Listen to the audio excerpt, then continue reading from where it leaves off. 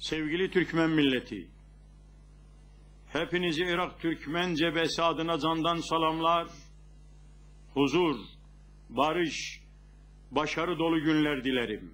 Saygı ve sevgilerimi sunarım.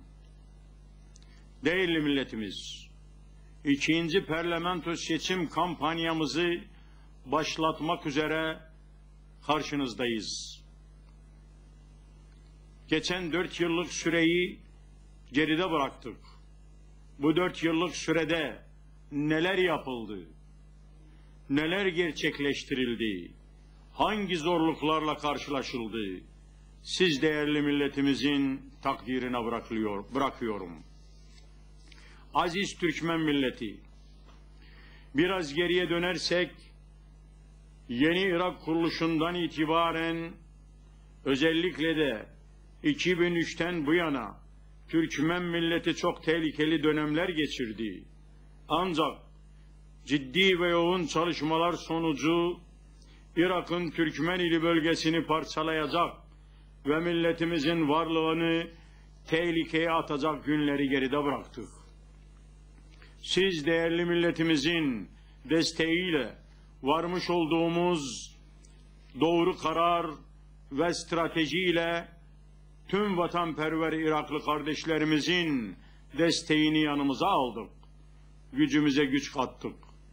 Birlik içerisinde Kerkük ile ilgili 22, 23. maddeyi çıkarabildik. Uzun süre çalışmalar neticesinde geri dönüşü olmayan maddeleri tespit ettirdik. Her ne kadar arzuladığımız düzeyde olmazsa bile parlamento seçim yasasını Kerkük ile ilgili özel bir maddeyi koyarak gerçekleştirdik.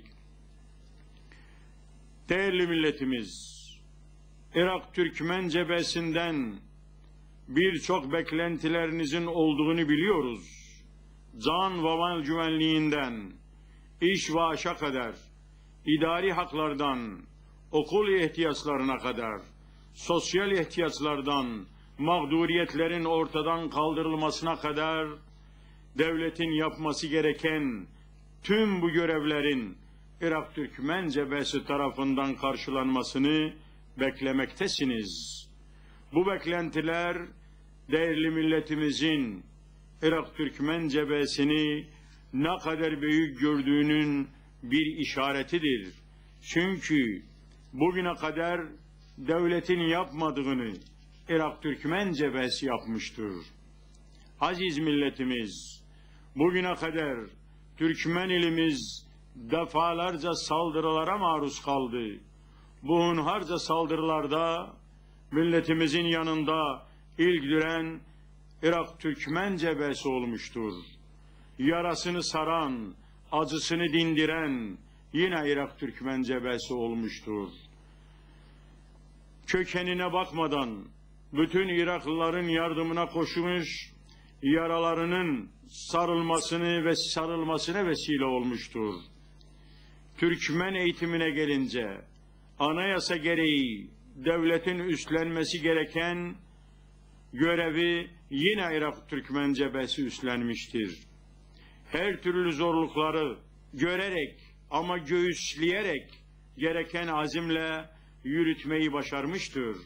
Türkmen köylerine her çeşit faaliyetleri götürerek köy evlerinden su kuyularına kadar elinden geldiğince insanlarımızın yardımına koşmuştur.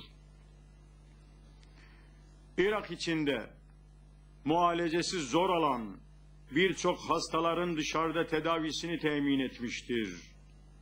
Lise mezunu öğrencilerimizin lisans ve sonra da yüksek lisans öğrenimlerini gerçekleştirmek üzere yılda 80 öğrencimizin yurt dışına göndermeyi temin ve başarmıştır.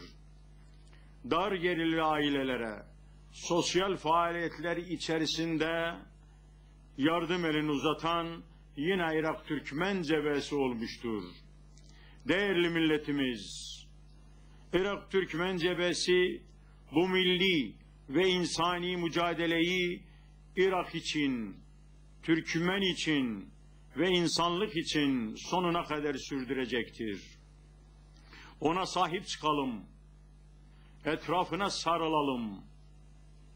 Haydi el ele verelim. Haklarımızı alabilmek için seçim merkezlerine gidelim. Oyumuzu 333 Irakiye listesindeki Irak Türkmen cephesi adaylarına verelim. Verelim de oyuna gelmeyelim. Hep beraber Türkmen ilini canlandıralım. Demokratik Irak'ı kuralım. Barış ve huzuru gerçekleştirelim. Sevgili gençler, arzuladığınız geleceği bulacağınıza, bulmazsanız da onları yaratacağınıza söz veriniz. Eğer yaşamak istediğiniz hayata inanmak cesaretini göstermezseniz, yaşadığınız hayata razı olmak zorunda kalacaksınız. El ele verelim. Nenelerimize layık olalım. Dilimize ve toprağımıza sahip çıkalım. Oyumuzu Irak Türkmen cephesi adaylarına verelim. Oyuna gelmeyelim. Biliniz ki gücümüzü milletimizin gençlerinden ve gençliğimizden, bacılarımızdan ve insan sevgisinden alıyoruz. Biz güçlüyüz. Çünkü yalnız değiliz. Teşekkür ederim. Hepinize Allah'a emanet ederim. Sağ olun, var olun.